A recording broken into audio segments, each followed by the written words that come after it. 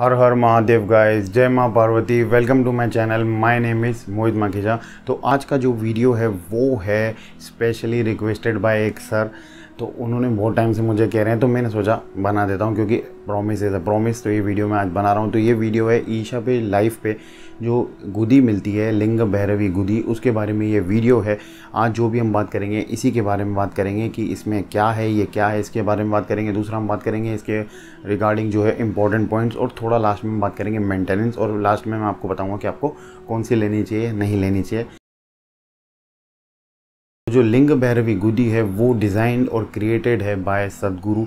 ये उन्होंने बहुत साल अपनी ज़िंदगी के दिए हैं। उसके बाद ये पावरफुल कॉन्सिक्रेशन प्रोसेस के थ्रू निकली है और ये बिल्कुल तैयार हुई है। बहुत टाइम लगा था उनको ये बनाने में अकॉर्डिंग टू सदगुरु उन्होंने बताया था। तो ये जो है पूरी कॉपर की है, जो आप अभी स्क्रीन पे देख सकते हैं, पूरी कॉपर से बनी है ये। ठीक है? और जो इसका हाइट वेट और लेंथ है, ये आप देख सकते हैं स्क्रीन पे। तो ये दो साइजेस में अवेलेबल होती है। एक है जो आपको भी स्क्रीन पे दिख रही है, छोटी, जो आप घर पे ऑफ़िस में या कहीं भी आप अपने साथ इसको ले जा सकते हो और रख सकते हो। एक आती है बड़ी, जो है फाइव बाय फाइव यानी कि बहुत बड़ी हो जाएगी। वो वो आप बड़ी जगह ही रख सकते हो। ऑफ़िस हो गया या फिर आप कोई भी आपकी बड़ी जगह है, वहीं आप उसको रख सकते हो, उसको आप घर में नहीं रख सकते, क्योंकि हाँ क्या पता आपका घर इतना बड़ा हो तो आप रख सकते हो, पर जो दोनों हैं, वो आपको प्री ऑर्डर करनी पड़ेगी, यानी कि ईशा को बताना पड़ेगा, उसी के बाद ये आपके लिए तैयार होगी। तो जो छोटी की प्राइस है, वो तो ट्वेंटी फाइव थाउज़ेंड है। बड़ी की प्राइस नहीं बताई गई, लेकिन थ्री टू फाइव लैख के बीच में ही होगी अप्रॉक्सीमेटली मैंने ना ईशा से पूछा। तो अकॉर्डिंग टू सदगुरु, जो भी लिंग भैरवी माँ को अपने घर लाना चाहता है, वो इसको ला सकता है, ईशा से मंगवा सकता है, और जिसकी भी लाइफ में ये गुदी आती है या लिंग भैरवी माँ का आशीर्वाद आता है। ना तो उसको किसी बात का डर रहता है। देखो, अपन को बहुत चीज़ों का डर होता है। वो डर से आपको मुक्ति मिलती है।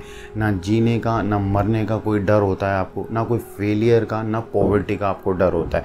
और जो भी आप काम कर रहे हैं और जो करना चाहते हैं, उसमें जो भी परेशानी आपकी लाइफ में आएगी, वो सब माँ अपने ऊपर ले लेंगी। आपके ऊपर से उसको हटा देंगी।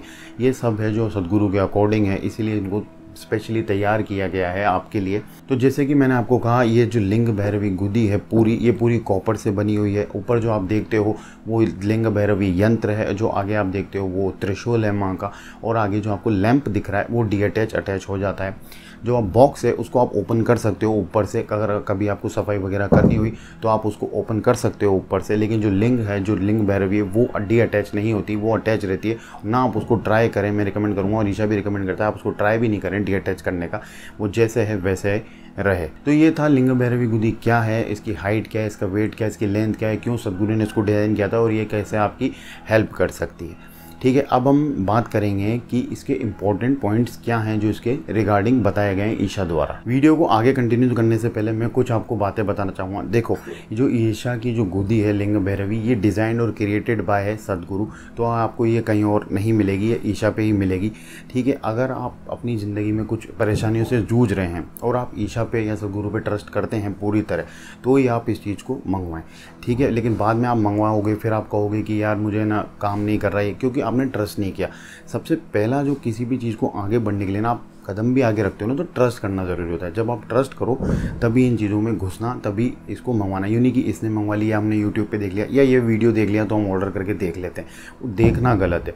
जब आप किसी चीज़ को मंगवाओगे तो आपको उसका पूरा रख रखाव करना पड़ेगा और उसका पूरा आपको मेंटेनेंस करना पड़ेगा। उसी अकॉर्डिंग जो रूल है, वो आप फॉलो कर पाओगे, तभी आपको उसका पूरा बेनिफिट मिलेगा, तभी आपको लगेगा कि हाँ इस चीज़ ने काम किया है। ठीक है तो मैं आपको यही कहूँगा कि किसी के इन्फ्लुएंस में या वीडियोस देख के या किसी की रिकमेंडेशन में आप ये चीज़ें नहीं करें। अगर आप ट्रस्ट करते हैं तो ही मंगवाएँ, ठीक है? नहीं तो भगवान तो हर मंदिर में, भगवान दिल में आप चाहोगे, जहाँ से उसको पालोगे। और जो परेशानियाँ हैं, वो भी आपकी दूर हो जाएँगी। अगर आप दिल से मतलब फ़ाइट करोगे और भगवान के चरणों में सब डाल दोगे, जो भी आप कर रहे हो तो आपका जो काम है, वो पूरे बनने लग जाएँगे। ज़रूरी नहीं कि यही पर्टिकुलर या कुछ भी पर्टिकुलर चीज़ आप लो, तभी वो काम करें। अब हम आगे चलते हैं, जो ईशा लिंग भैरवी गुदी है, उसके इम्पोर्टेंट पॉइंट्स क्या हैं? तो देखो, ईशा के अकॉर्डिंग जो इम्पोर्टेंट पॉइंट्स हैं, वो ये हैं कि सबसे पहली बात, अगर आप गोदी लेते हो तो आपको दिन में एक बार तो लैंप, यानी कि दिया जलाना ही पड़ेगा। ये कंपलसरी रूल है, आपको ये जलाना ही पड़ेगा। भले चाहे आप दिन में एक बार ही जलाओ। कोई टाइमिंग नहीं है, आप कभी भी जला सकते हो, ये आपके ऊपर है, जब आपको टाइम मिल जाए, पर एक बार तो दिया आपको, जलाना ही है। ठीक है, जो लिंग भैरव स्तुति है, जो आप अभी स्क्रीन पर देख रहे हो तो ये जो स्तुति है, ये आपको दिन में एक बार तो पढ़नी ही है। फिर आपकी इच्छा है, आप तीन छः नौ, ग्यारह, ऐसी साइकिल में आप इसको पढ़ सकते हो। ठीक है, इसके बाद जो है कि आप जो कुमकुम है वो आप अपनी जो इधर उधर से मिलता है, वो नहीं लेंगे। आप ईशा से ही लेंगे। ईशा वाला ही लगाएँगे। क्यों? क्योंकि बाकी कुमकुम में आपको घी या फिर पानी लेना पड़ता है। लेकिन जो ईशा के द्वारा आता है, उसमें आपको ये सब नहीं लेना, बस वो डब्बी खोलनी है और सीधा लगा देना है एक बार। अच्छा जो कुमकुम आप लगाओगे, वो आप रिंग फिंगर से या फिर थम से लगाओगे। इसके अलावा कोई भी फिंगर आपको यूज़ नहीं करनी। इन्हीं दो फिंगर का बताया गया है ईशा ने इन्हीं दो फिंगर से आप उनको लगाओगे। जो अभय सूत्र है, वो भी आपको ईशा पे ही मिलेगा, जो देवी माँ का है, लिंग भैरवी का, वो भी आपको वहीं मिलेगा। जो इसके बाद है कि जो इस पर अभय सूत्र है, वो आप पहनना है तीन फोल्ड में। अगर वो गिर जाता है नीचे तो फिर आप उसको दोबारा पहन सक, पहना सकते तो ये तो थे इंपॉर्टेंट पॉइंट्स कुछ। अब हम बात करते हैं मेंटेनेंस के बारे में। तो देखो, सबसे पहला मेंटेनेंस है कि अननेसेसरी आप इसको बार बार टच नहीं करोगे। कितना भी आपको ज़रूरत हो, आप इसको टच नहीं करोगे। आप दो ही कंडीशन में इसको टच करोगे या तीन कंडीशन में। पहली, जब आपको क्लीनिंग करनी हो। दूसरी, जब कुमकुम लगाना हो। तीसरा, जो अभय सूत्र है, जब आप पहनाओगे, तभी आपको ये हाथ लगाना। इसके अलावा आपको अननेसेसरी टच नहीं करना। अगर आपका ये गंदा हो जाता है तो आपको जो डस्टिंग करनी है, वो सिर्फ़ कॉटन के क्लोथ से करनी है, जो शायद उसके साथ अवेलेबल होगी या ईशा पे होगी। नहीं तो आप अपना भी क्लोथ ले सकते हैं। कॉटन का नया क्लोथ लेना और उससे ही आपको साफ़ करना है। जो लिड है, वो ओपन हो जाता है। उसको ओपन करके आप अच्छे से साफ़ कर दें। और जो लिंग भैरवी, जो लिंग है, वो डी अटैच नहीं होता, आप उसको कोशिश ना करें, बस हल्के हल्के कपड़े से इसको साफ़ करते रहें कॉटन से। और जो लिड ओपन करोगे, उसको भी आप कॉटन से साफ़ करें। याद रखना अननेसेसरी बार बार नहीं खोलें। जब सफ़ाई की नीड हो सीरियसली तभी साफ़ करें। बाकी लिड उसका बंद रखें। जो लैम्प है, वो डी अटैच हो जाता है। आप उस लैम्प को डी अटैच कर लें और अच्छे से उसको साफ़ कर लें।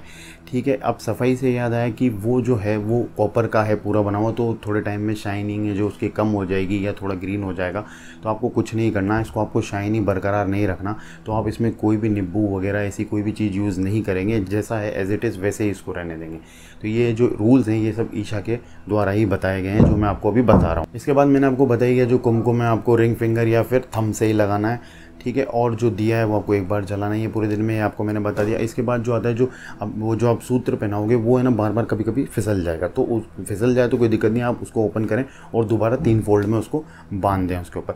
तो ये तो था इंपॉर्टेंट पॉइंट और मेंटेनेंस मेंटेनेंस में ये बात ज़रूर याद रखें कि उसको शाइनी रखना ज़रूरी नहीं है। उस पर कोई भी एक्सटर्नल ऐसी चीज़ ना लगाएँ जो मना कही है ईशा के द्वारा। सिर्फ़ आप उसको कॉटन के कपड़े से उसको हल्का हल्का क्लीन करते रहें। तो ये सब तो थे इंपॉर्टेंट पॉइंट्स और मेंटेनेंस और ईशा के जो गुदी है उसके बारे में। अब फाइनल पॉइंट ये कि आपको ये लेनी चाहिए या नहीं लेनी चाहिए। जैसे कि मैंने आपको कहा, अगर आपको ट्रस्ट है तो ही इन चीज़ों में आप लें तो ही वो चीज़ आप लें। ये सदगुरु ने बोल दिया या फिर ये वीडियो आपने देख लिया या किसी ने रिकमेंड कर दिया इस तरह आप उसको नहीं लें। अगर आप पूरी तरह ट्रस्ट कर पाएँगे तो ही आप इसको लें। ठीक है? इसके बाद पॉइंट आता है कि कौन सी लें? देखो, अगर आपको बिग ऑफ़िस है, या आपके बिग घर है, या आपको जगह है कि आप पाँच बाय पाँच, इतनी बड़ी आप गुड्डी रख पाएँ तो फिर आप बड़ी लें। नहीं तो छोटी आप लें। छोटी लेने का ये फ़ायदा है कि आप उसको कहीं भी मंदिर में रख सकते हैं। बाई चांस आप किराए के घर में रहते हैं रेंट घर में रहते हैं तो आप उसको शिफ्ट भी कर सकते हैं। या फिर जो गुदी है, आप कहीं घूमने जा रहे हैं दस पंद्रह दिन के लिए तो आप उसको अपने साथ ले जा सकते हैं, क्योंकि लैंप आपको पूरे दिन में एक बार तो जलाना ही है।